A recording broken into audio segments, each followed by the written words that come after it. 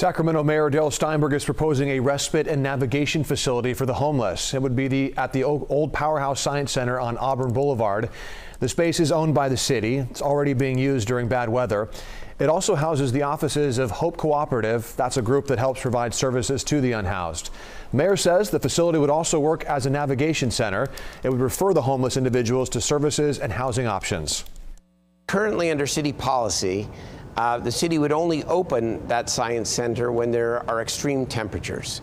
And I believe it is important that we make a commitment to opening up that center uh, every day for uh, the tremendous and, and, ongoing problem that we have here uh, in the city and the county of Sacramento.